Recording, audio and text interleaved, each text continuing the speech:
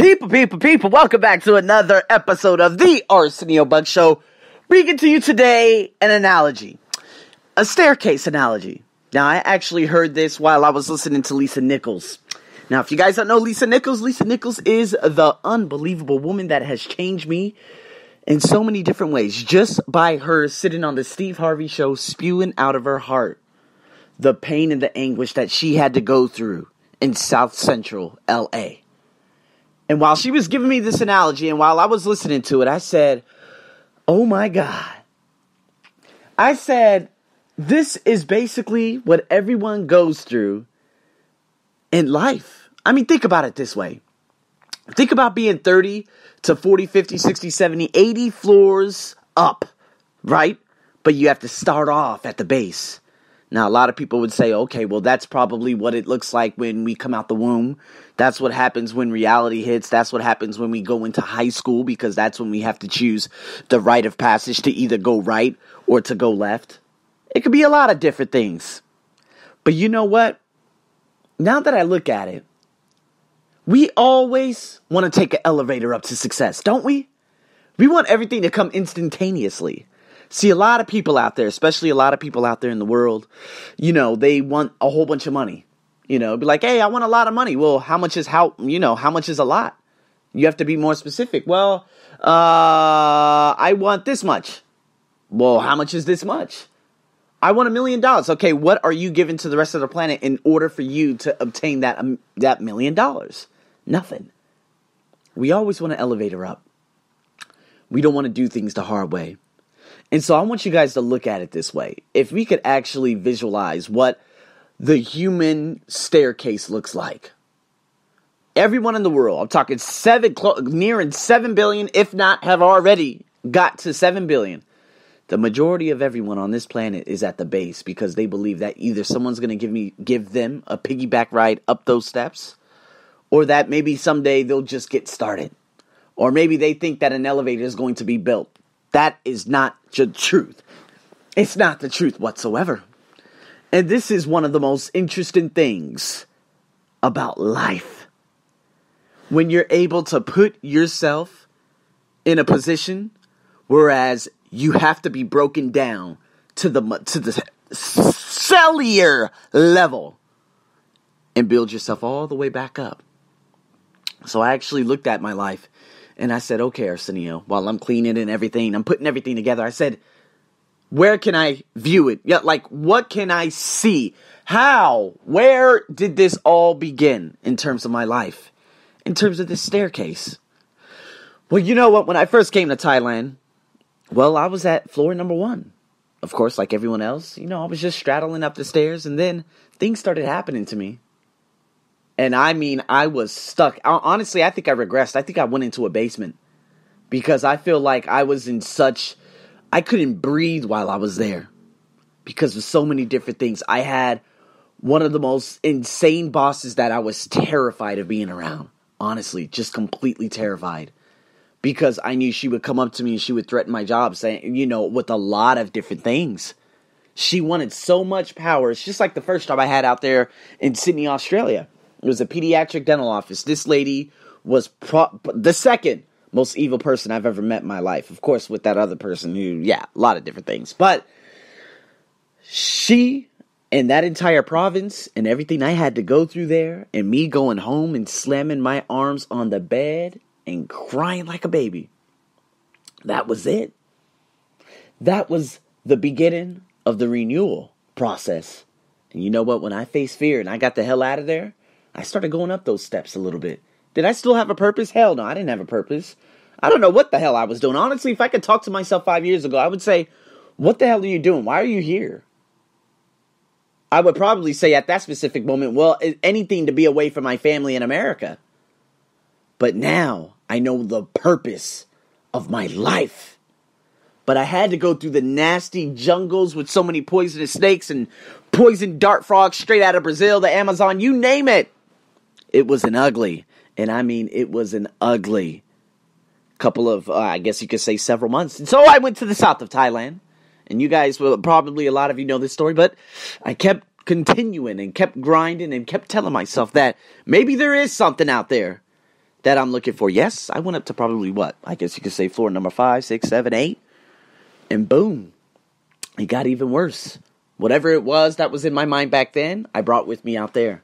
First week, it was unbelievable. People were super friendly. People would say hello to me. And then within five months, towards the end, everywhere I went, I got some of the most dirty looks imaginable.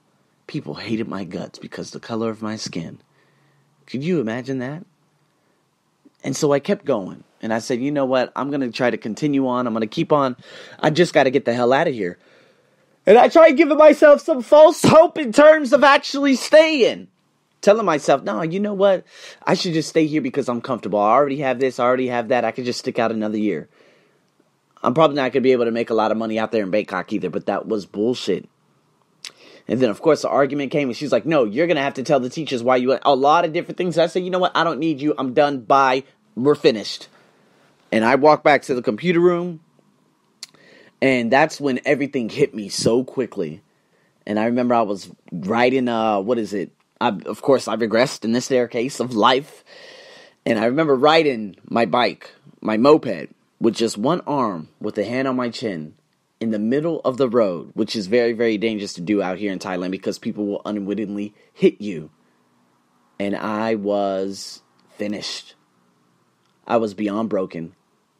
I was so broken to the point where did I have second thoughts of just going head on with another car? No. I didn't have the guts to do that. But if I got hit and flew off my bike at that specific moment, I would have been comfortable with that moment. That's how emotionally destroyed I was because of the opinions and what I created my reality as. I applied for 60 jobs probably with a week before that and only three of them responded and they said they wanted a picture. And of course, when they saw the picture, they completely disappeared because it was a picture of a black man. And so it continued. You know, finally I got through and I said, okay, well, I got this job that's probably about an hour north of Bangkok. I can do this. Got another part time job on weekends. I said, I can do this. But then at that place, I saw it even it, it, was a more it was it was much much worse. Now, of course, I went up them stairwells, and now I was carrying sandbags with me, and I was all the way leading up to the job I've had for three and a half years that I just quit just last month. Well, I guess you could say this month officially the visa ended and everything, but that baggage that I took up with me in 2014, leading to the darkest month of my life, October of 2014, I was still bringing to me all the nasty things. I remember walking into a language center somewhere just outside of Bangkok. I can't even remember where it was, but I remember walking in, and of course, white woman, but everyone's white that works there. And I walked in, and everyone looked at me, including the students. Oh my God, those looks are seared in my mind. And you know what? I think when I started working at this part time place, all the odds were stacked against me already. And it's crazy because three and a half years in, I still have that degree, that sense, that everything in terms of, you know, I had that racial hatred still happen in that specific place, but I brought it with me. So, of course, it was still with me all the way leading up through those years and going through the racist company, you know, Swarovski and going through Toshiba, which is another one that just completely got rid of me. All of these things that just happened. I brought with me since 2014 because that's when it began when I actually moved here to Bangkok from the south of Thailand in 2014. I was still under the impression, and I mean, I went through absolute sheer hell at that time because so many people wanted to see me fail. And so, of course, going into this last job, and I ended up working there for three and a half years there were times, there were instances, you know, there was some good, there were some good moments, there were some okay moments, and then there was hell, and then there was more hell in 2015. But then in 2016, that's when I started teaching myself the personal development. I believe I went up 50 floors that year because that's when I let all those shackles go. I let all those sandbags. I just took everything, all the weight off of me. And so finally, leading up to this last part and this last story in terms of what has happened this year and what's probably going to happen very soon. Honestly, if you guys ask me right now, okay, Arsenio, so what's the purpose? Well, the purpose is to build an online empire because my podcast is going unbelievably insane. And it's because I created it. And you know what? Reaching out to people all around this planet, this is what I've always wanted to do. And so, breaking it all down in retrospect, it is remarkable how I said, you know what? I know there's going there isn't an elevator here in this country. I'm going to go up these steps. And when I'm going up these steps, there are going to be pitfalls. There's going to be hell. There's going to be a lot of problems. There's going to be things that I have no control over. But the thing is is that I need to keep moving. I cannot become stagnant. I cannot just stop learning. I can't do anything like this. In terms of, hey, you gotta keep learning. And so here it was. Of course, I asked myself last November, last December, I've gone down these roads, but I love talking about my life because it could relate to you guys. And I said, okay, well, you know what? This is it. This is the last draw. Is this what's going to ultimately end up unfolding in my life? Am I just going to quit because this happened or because that happened? No. I said, right now, I'm going to quit this job because it's the best thing that could ever happen to me. Why? Because all that weight that I've carried from 2013 into 2014 loopholed into this job.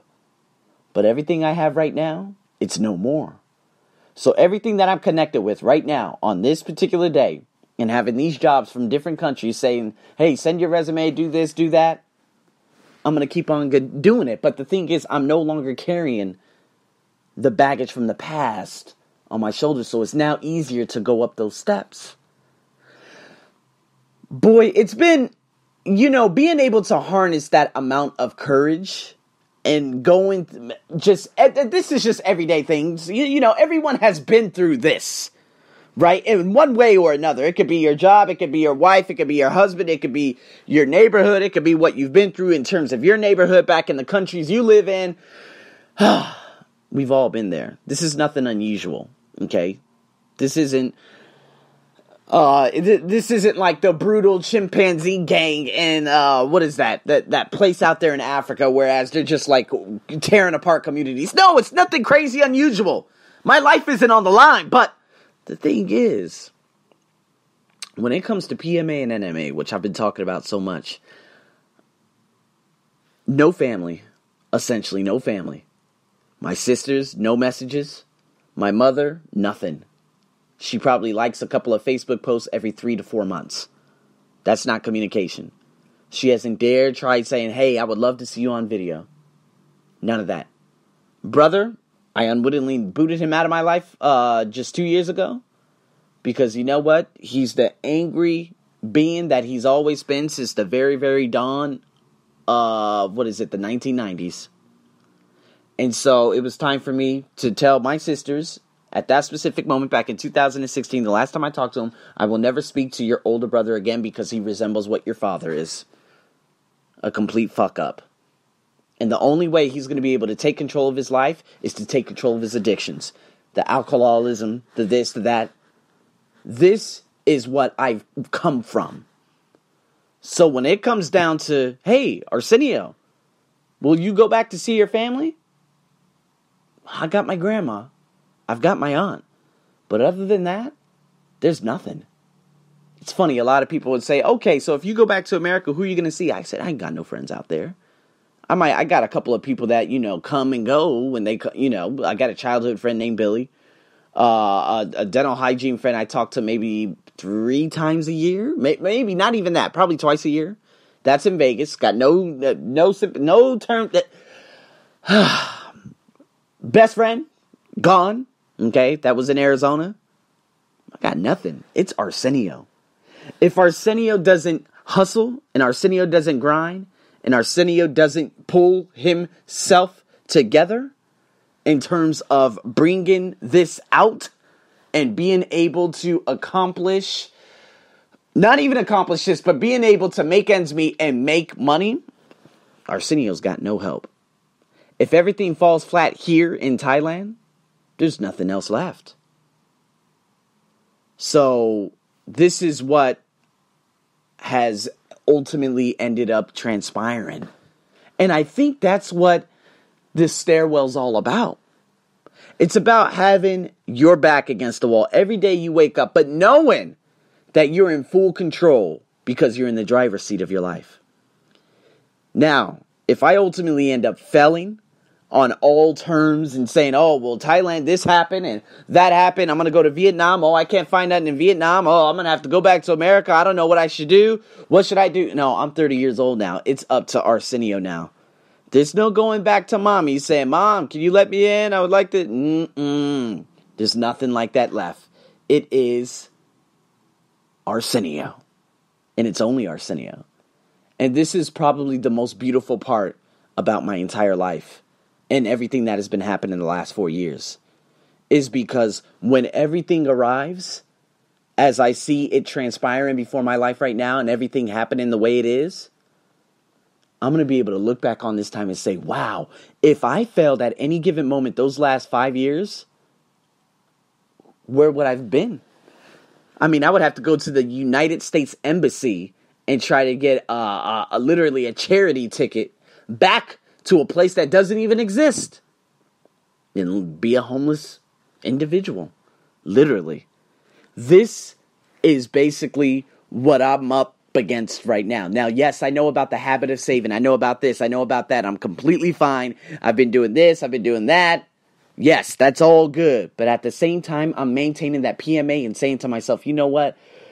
I'm going to be able to get through this. And when I get through this and I create this and all this starts to happen, you know, happening, I'm to be like, you know what? I lived life on such an edge that if I failed and stumbled at any given moment, that could have been the end of me. That's the staircase. Knowing that if you fall back and you hit your head and you lay there unconscious for a long time, no one's to be there to pick you up and save you. If something happens here in Thailand, no one gives a shit about me in Thailand. Thailand is a predominantly Buddhist country. They are literally engraved and born with the sense that everything is going to be taken from them no matter what. So that's why they laugh at death. I don't have friends out here in Thailand that would say, oh my God, Arsenio died. They would say, ha ha, Arsenio died, ha ha. You see? My mom wouldn't even know what happened. My best friend probably wouldn't know for about months. Mm-mm. And this is probably what living life on the edge is pushing yourself to the psychological, emotional, physical, all types of limits to succeed. Knowing that you, there is no rescue 911, there is Arsenio 911. If something happens, I don't have someone to call and say, Oh my God, could you please help me? I don't. It's up to Arsenio now. And this is probably what makes it so exciting. This is probably why my TEDx and this is going to happen. And next thing you know, when I, uh, I don't know, have a radio show or have this and have that, people are going to be like, oh my God. And all those people from the past, I'm going to be like, guys, there was no mom, there was no mom that was going to save me. There was no this, there was no that, there was none of that. It was up to Arsenio. And you know what? Arsenio achieved everything. So from this point going forward, I cannot allow you back into my life on that level. I respect you. You've done everything for me. But you know what? Arsenio had to go through the dark. Three and a half years at this place. Horrendous.